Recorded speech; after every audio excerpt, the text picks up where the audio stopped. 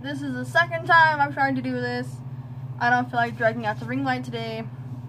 We're going to be talking about someone that you probably don't know, or if you do know, have not heard about this situation yet because heaven forbid a black pe- a black people, a black person be held accountable for anything wrong that they do. So we're, today we're going to be talking about um, Phillip Adams. He was a football player person. Yes. Um, the other day, he became a mass murderer. hmm he, from what I read briefly in the articles that I read, he went to the house of these people and just started shooting them. And some articles say he killed five people. Um, the doctor, his wife, their two grandchildren, and someone that was working in their yard. Other articles say he killed six because he shot someone, and they are, are or were in, if they have passed, in critical condition in the hospital. Um, the doctor is Dr. Robert. I don't know how to say the last name. I guess Leslie, L E S S L I E or whatever. I know I spelt it wrong when I wrote it down because I've like scratched it out five times trying to spell it right. Um, and then his wife Barbara, their grandchildren Ada and Noah, and their ages were nine and five. That's that's not they they didn't live long enough at all. Um, and the name of the guy that or the guys that he shot that weren't related to them were James Lewis and Robert Shook. I can read my handwriting. Robert Shook. so I know I hate to make this about race because I know that that is a big issue right now. But I know for a fact that if this had been a white man, it would just be um, handed over to racism. That he killed these people because of racism. But because he is black and an athlete. I just wanted to mention that this guy, the football player, was a patient of the doctor from what I read, so it's probably not uncommon that he knew where he lived and this wasn't just some random incident.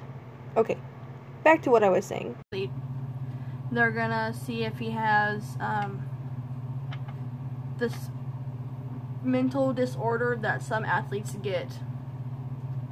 Ironic that they give him the, the courtesy of checking for that before they say what caused the incident. but it's CTE.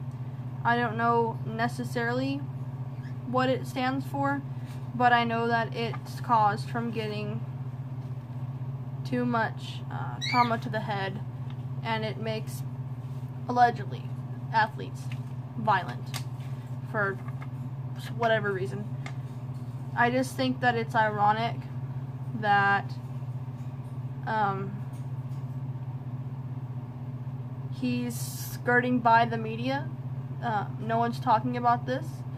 I don't want to say that it's black because because he's black because I know not everything has to do with race unless you make it about race or if it's because he's an athlete and rich and he can just well he can't afford anything now. He killed himself after killing all these people which is unfortunate as well.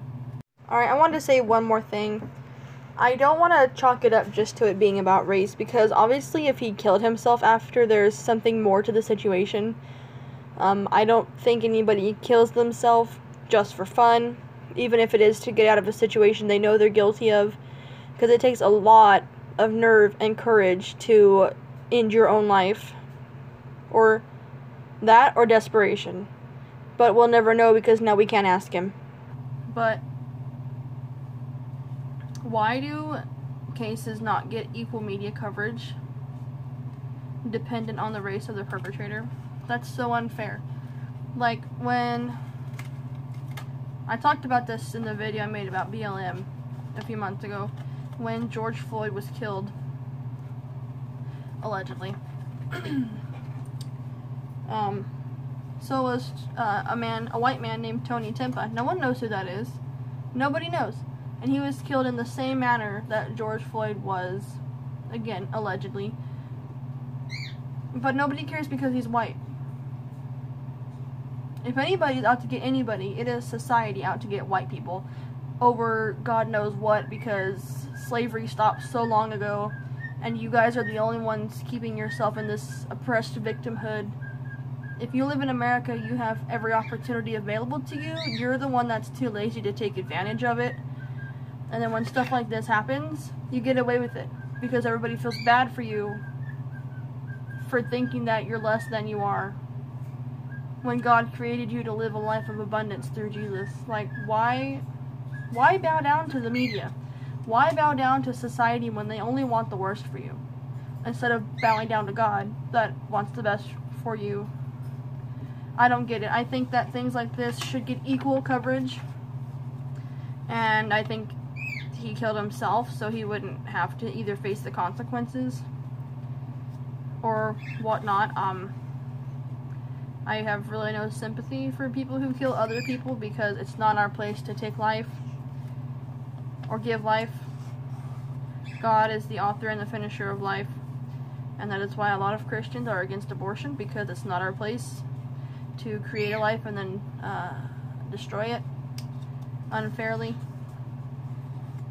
I don't know. It's just this is just something that's bugging me that nobody seems to care about. The media is not talking about. I only saw this on Instagram. So I don't know why nobody's talking about this. Is it because we're too focused on Derek Chauvin or whatever his name is getting acquitted? I certainly hope he does. Just so I can rub it in your face because it's going to feel so good. So good. It's going to feel so good to rub that in your face. Also, the official police images or whatever that were released showed his knee on George Floyd, George Floyd's back. I can talk, I promise. Um, so, what leg do you guys have left to stand on? And the answer is none.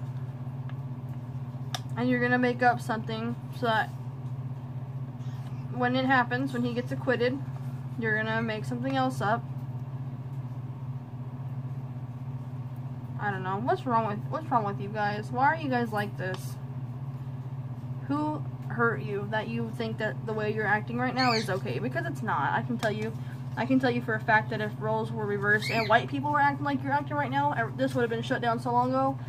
It wouldn't. We wouldn't even have time to have got the first fire started before it was shut down. You guys remember when when Chaz was a thing that that whatever was going on in Oregon when they took over all that territory? That list that lasted not not even a week, I think, maybe two weeks at most. But that was shut down. That was started by a white man. Um, I only made this video to bring light to the situation because I think it's unfair that these innocent people died. And no one's talking about them. I don't even know what race they are, honestly. But I guarantee that if they're white, that's why. No one's talking about them. Um, all I can say is stop believing what you read and look up things for yourself. You'd be surprised how much you don't know that you don't know until you do know it. Hopefully that made sense. Uh, yeah, this is probably going to be my shortest video ever. Uh, thank you for watching. Uh, if you're going to get mad at anything I said, take it somewhere else. I don't have time for that. I really don't care what you have to say. This is my channel with my raw opinions, and if you don't want my raw opinions, don't watch my videos. That's simple. Hey, guys have a great night. Um, yep. Alright, if you stay to the end to see this part, I, why? um, you know how, uh, this is about three days after filming the original part. I don't know why it's taking me three days to upload it. I'm just lazy, honestly. You know how I said that they were going to find someone else to make the target, or not the target, like the face of BLM after the George Floyd trial um, was settled. I was right, except for it happened sooner than I thought. What's, okay, if you don't know, there was a young man his name is, I don't want to say it wrong, Dante, Duante, right? I'm to put his picture right here, um, with his name, because I more than likely said it wrong. He was shot by a cop, And in this case, I do kind of agree with them. How do you mistake a taser for a gun? They're not even shaped the same. They're not even shaped the same. If you can't, if you can't carry a gun and a taser and not mistake them, maybe you really don't need to carry both. But I also know that he had a warrant out for his arrest and he's been on the run since fe about February of either this year or last year. And he wasn't pulled over for air freshener like everyone says. He was pulled over for an expired registration on his car he was driving and it just kind of escalated from there. Literally every death that has happened could be avoided if these people would stop resisting arrest. But police officers could also get better funding if we would stop defunding, or better funding, I'm so dumb, better training if we would quit defunding the police because it takes money to train police officers. So if anything, we should give them more money for better training and less incidents like this will happen. And when they do happen, we'll have a more clear way of telling if it was with alternative motives or something. But no, we, we can't ever take the easy route to solving a problem. Always the most difficult and most costly. This is ridiculous. A year of this garbage and you guys still think you're right? It needs to end soon.